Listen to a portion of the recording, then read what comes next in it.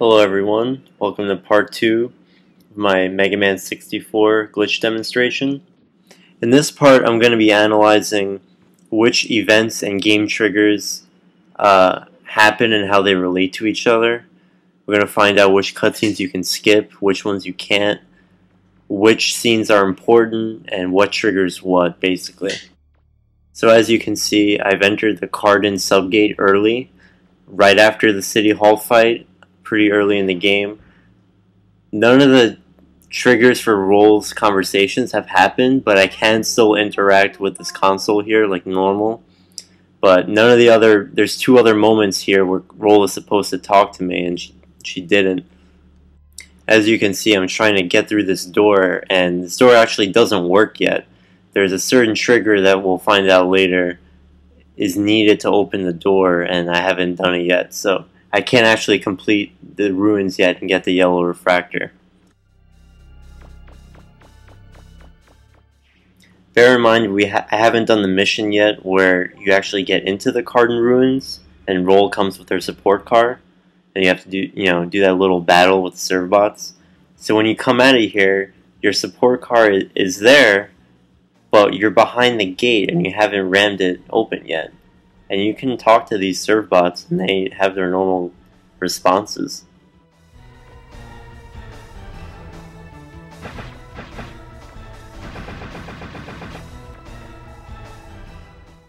As you can see, I can't even get back into the ruins from where I came from, so I just have to go back in the support car and find out what else we can do.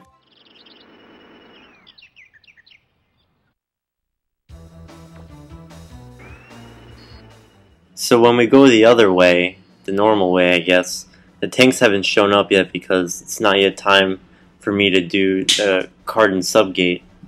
And the gate is still there. My support car is gone from this area. So there's nothing strange here. So let's advance the plot a little bit. We're gonna go to the Yass Plains and go fight Marlwolf, fight Teisel, and get this boss fight out of the way and see what happens next.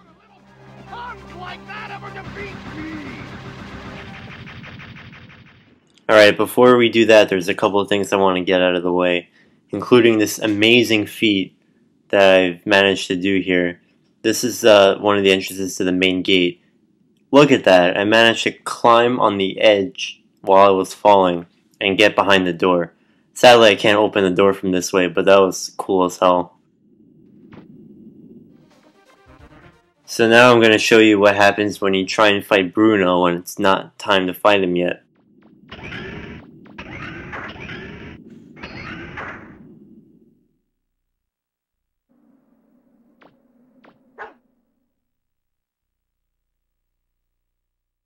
What's behind door number one? Absolutely nothing. Yeah, it's a little disappointing, but the fight doesn't start, and you're just left in this empty room. Surprised they even allow you to get in here, but it's basically the room where the cutscene is supposed to take place, but because we haven't advanced through the story enough, there's just nothing here. I tried my best to make this video clip a little brighter, but the textures are just really dark and there's not really much I can do about it.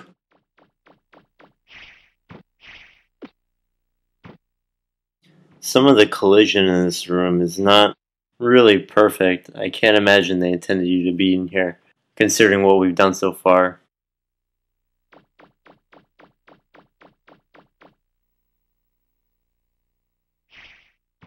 Right here I'm just jumping around, showing you can jump on all the things in this room, but there's really nothing to do in here at all. Nothing you can interact with. You can't leave not even by walkie-talkie. There's you're just stuck. So essentially, you kind of just have to reset your game at this point, which is why I didn't want to do this before.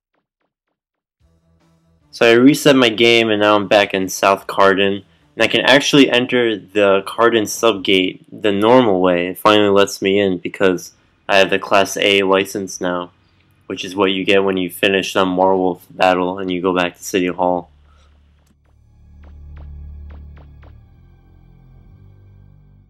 Still unable to get any further into the subgate. Roll still hasn't talked to us when she's supposed to, so there's nothing else to do here We're gonna have to go a little further on. Alright, here's where it gets really interesting. So when we go to South Cardon by foot, we hit this old lady and then she tells us that the Servbots are attacking. That initiates the escort mission in this area. But it's going to be a little weird now because we can call roll in this area and have her pick us up and bring us right outside the subgate. So I'll demonstrate that. Once I leave, I'm behind the gate as usual, but then the cutscene starts again. So I can choose to continue on, and once I do that, Roll will come to the rescue to start the escort mission. But since I called Roll, and she picked me up and the support car is behind the gate, and the support car is also in the beginning of the area for the escort mission, there are now two support cars in the same place.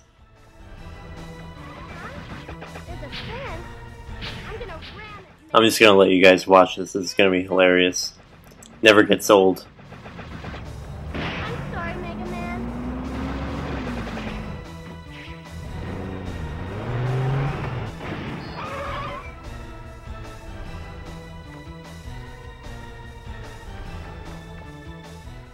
There are two support cars in the same spot. They're both identical, they both work, you can enter both of them, and you just made two copies of roll and data apparently.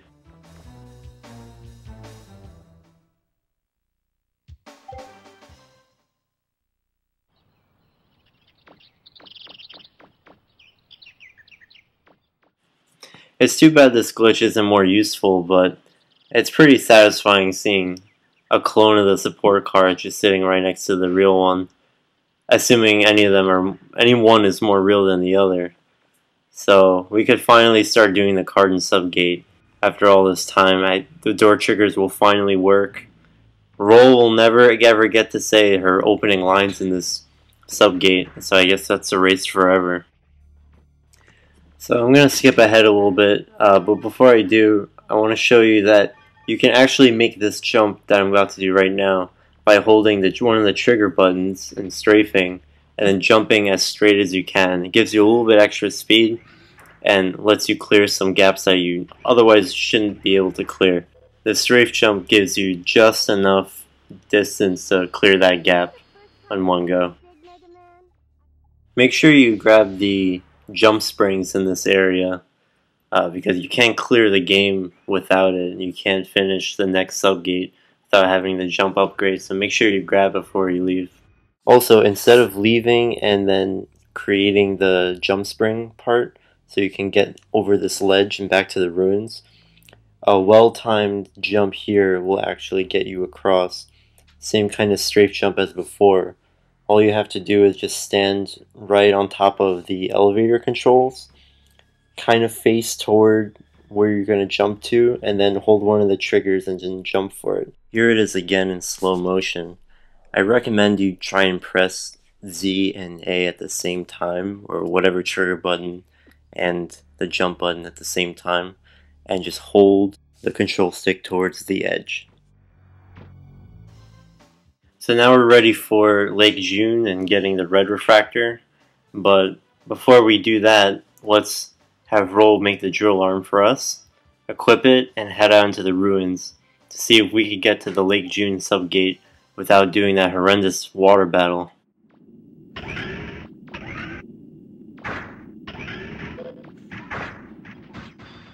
To get to Lake Jyun, it's much more out of the way, but first we're going to take a visit to the other subgate, uh, Clozer Woods.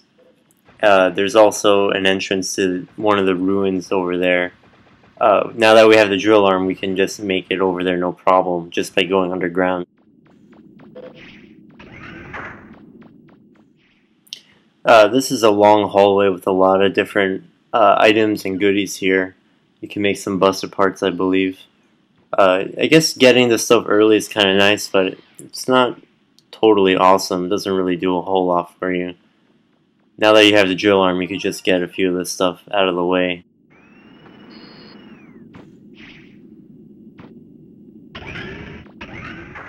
So right here is the entrance to the Clozer Woods subgate. As you might imagine, since this is a subgate we're, we're going to be doing at the end of the game, it's not yet time to do it, and therefore the doors won't work. So just as in the last area, trying to get anything done here early is not an option. This area doesn't have much in it except um, target sensor, I guess. If that's something you're interested in. I don't know. But yeah, none of the doors work in this area, so unfortunately not much to do here. It would have been neat if you could be here early and then since you're so close to it, activate the elevators, get some of the ID cards early. Would have been kind of neat, but I guess they were crafty and made sure that, you know, can't really do things out of order, that have to hit certain triggers to make next area happen, I guess. Right, so this leads uh, back to the Yass Plains. There's an entrance here to go in the ruins. It's kind of neat that all the ruins are connected in this game and that eventually when you get the drill arm, every area will be accessible underground. Might take a long while to navigate it, but everything's connected and that door I just skipped over there doesn't only leads to a few buster parts I think nothing really worth exploring. So now let's go back and check out early Lake Jyun. I've included a map of all of the ruins and how they connect to each other in the description in case new or old players might not remember exactly where to go and how to get here. But it's a lot of navigation, but eventually you'll find yourself over here where you can use a drill arm and access some more areas here.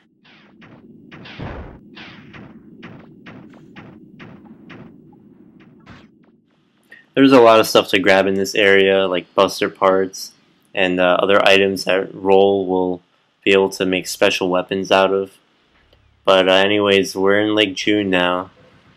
Enemies here, these guys are really annoying. But anyways, the doors won't open, of course, because we haven't hit that particular trigger that opens them. I'm assuming it's the water battle where you fight the Bonnes again.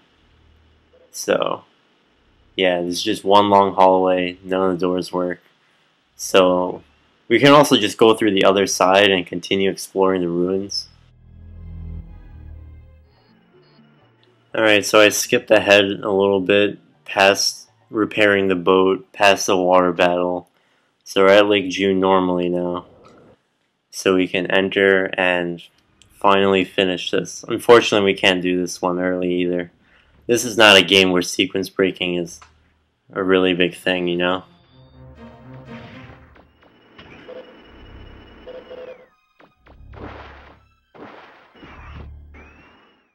So, this is basically going to be the only cutscene skip I think we can do.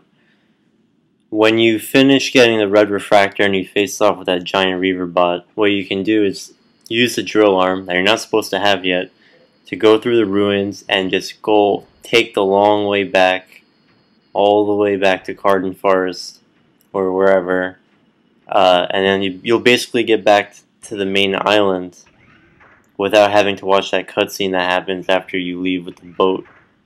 So that's pretty neat.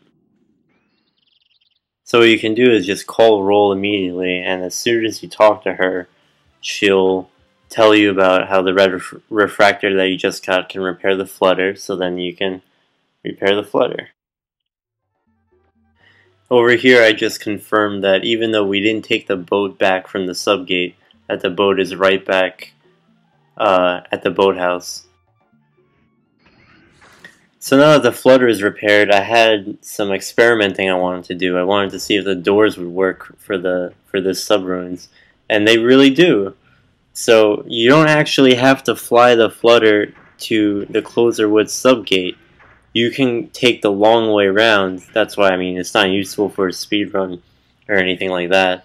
But if you go the long way around and come into the subgate from underground, you can get here without ever flying to it with a flutter. And that's really amazing.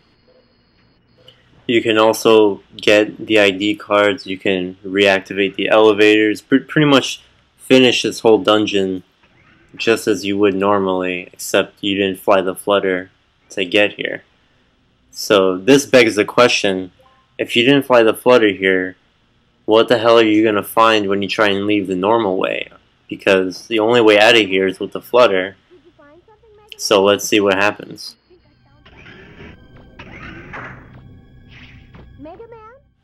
I found this a little humorous. She starts talking about the finding a door when you come down, you fall down the, the pit in the room. But if you go the opposite way, she still says the same thing, even though you didn't fall. So let's exit and see what we find.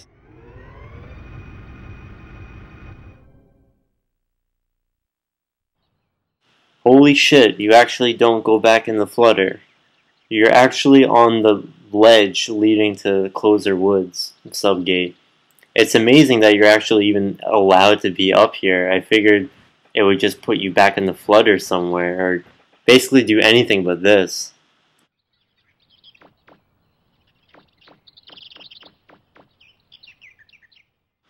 Since there's not much up here, might as well try and go back in. Only a text box comes up that says sample. I don't know why on earth it says sample and why it won't let you back in, but if I venture to guess, I think the game is really confused. And I think we confused it. Anyways, enough of trying to get in this door that won't open. Once we go back to that control room in the Clozer Wood subgate, and we get that cutscene right here, where we see the main gate activating, I wanted to see if this cutscene is the thing that opens the main gate, instead of flying back after this cutscene with the flutter and activating the the pirate attack, the air battle, I want to see if I can skip that by going through the ruins. Because again, we're not supposed to have the drill arm or access to any of the ruins and all the connected passageways yet. So I'm going to try and skip the air battles now. If you could believe it, the main gate is closed. Watching that cutscene and getting all the ID cards doesn't do shit. still not open.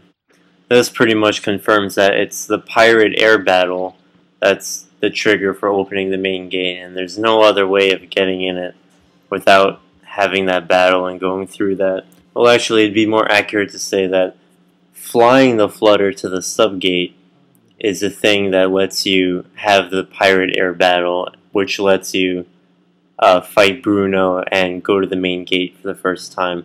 So pretty much in that order.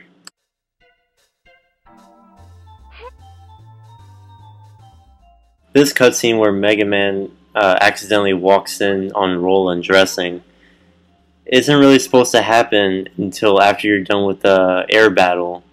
But it happens now, I'm assuming, because I did the main gate cutscene where it opened up, you know, with the ID cards. So the game probably thinks I'm done with that, therefore when I go into Roll's room, there should be that cutscene. So I'm going to go ahead and skip the entire air battle for you and look at that, the main gate is open, we can finally go inside. Since we can finally get in here, we can open the subcities from that computer terminal when I get to it, and we can also face Bruno. To finish off this video, I've made a list of flags, in-game flags that need to be set in order to complete other parts of the game. So starting from the top, there's a lady in South Cardon. As soon as you talk to her, you'll be able to not only enter Cardon Ruins, but you'll actually be able to open the doors and complete it.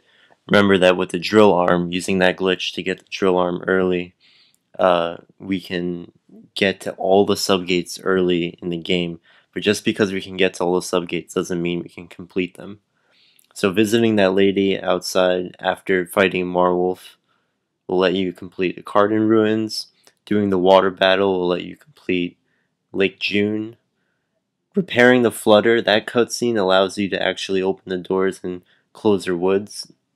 It will allow you to finish that place. The cutscene where you tell Roll to use the flutter to get to the subgate for the first time you tell her to go to Clozer Woods. That actually activates the uh, the ability to leave the Clozer Woods through the flutter. Otherwise, as we saw before in this video, if you don't ever bring the flutter to the subgate at all, when you try and leave, you'll actually just end up right back outside the subgate uh, with no flutter, and then you won't be able to come back in because the door will say sample. This next one's kind of weird. The main gate opening cutscene, where you enter the three ID cards and you see it opening for the first time, if you see that cutscene but you don't ever have the flutter take you to the subgate, entering Roll's room in Cardon Forest will start that cutscene where you know you catch Roll undressing, and she tells you to knock, uh, which is just a weird thing. Don't really know why it works that way. Fighting the pirates in the air battle is the thing that lets you open the main gate, and opening the subcities from the terminal inside the main gate is the thing that actually causes the subcities to appear, and it also sets up the Bruno fight. If you try and fight Bruno before opening the subcities, you'll still get that soft lock room where you can't do anything inside. So you really do have to open the subcities before. There's really no way around it. Uh, that pretty much wraps it up. Hope everyone enjoyed watching this. Uh, hope people got to learn a little bit more about this game and the glitches it has to offer. Thanks for watching.